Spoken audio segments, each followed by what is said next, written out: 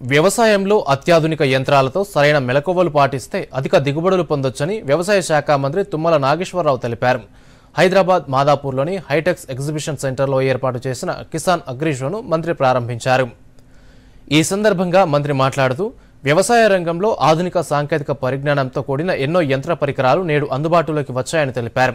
రాష్ట్ర ప్రభుత్వం వ్యవసాయ రంగం అభివృద్ధికి పెద్దపీట వేస్తోందని అన్నారు. రైతులకు కావాల్సిన యంత్రాలు ఉత్పత్తులను ఒకే చోట చేర్చడం ద్వారా రైతుల్లో మరింత అవగాహన కలుగుతుందని చెప్పారు. వ్యవసాయంలో స్థిరమైన వృద్ధికి అవసరమైన ప్రోత్సాహకాలను ప్రభుత్వం రైతులకు అందిస్తోందని తెలిపారు.